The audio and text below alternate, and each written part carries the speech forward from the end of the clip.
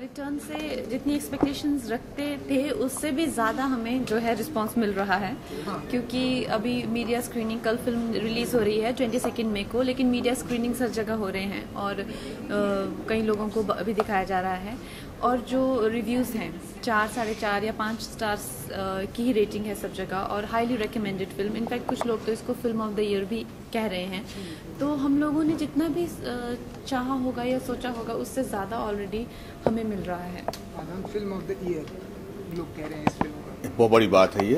हम तो सिर्फ़ चाहते हैं कि हमारा जो ये प्यार का जो लेबर रहा है जिस संयम से और जिस प्यार से हमने इस फ़िल्म को बनाया, उससे कहीं ज़्यादा प्यार हमको लोगों से मिले और अगर ये मिल जाता है और हमारे प्रोड्यूसर बहुत सारे पैसे बनाते हैं तो उससे ज़्यादा खुश हमें नहीं हो सकती नहीं, और आई थिंक जो तनु है, वो जब चार साल पहले उसको लॉन्च किया था तो एक नई तरह की लड़की फ़िल्म सिनेमा में लोगों को देखने को मिली थी।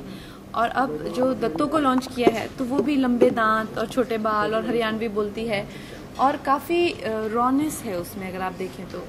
तो ये भी एक बॉलीवुड को एक नई तरह की अभिनेत्री मिली है। तन्नू की तरह तो फिर बहुत सारे कैरेक्टर हो गए मुंहफट या शराब पीना या लड़के घुमाना फ्लर्ट होना थोड़ा सा मैनिपुलेटिव स्ट्रीक होना उसके बाद वैसे ही बहुत फॉलो किया। अब दत्तों के बाद मुझे लगता है ये भी लोग काफ़ी ट्राई करेंगे। यार मैं अपनी बीवी को घुमा रहा हूँ यार तो अ, अ, तनु वर्ज मनु रिटर्न्स की कहानी बड़ी क्लियर है। क्योंकि मेरी बीवी और हमारे बीच में जो शादी के बाद जितने तकरार हो रहे हैं जिसकी वजह से हम साथ में नहीं रह पा रहे हैं। उसको और प्यार में जो दरार आ रहा है, उसको कैसा सुलझाते हैं और कैसे जो है प्यार अभी भी बरकरार रख पाते हैं या नहीं, इसके बारे में कहानी है। लड़कियों को तो घुमा नहीं रहा और बेचारा मन्नू शराब कभी नहीं एक्चुअली कभी कभार पी ही लेते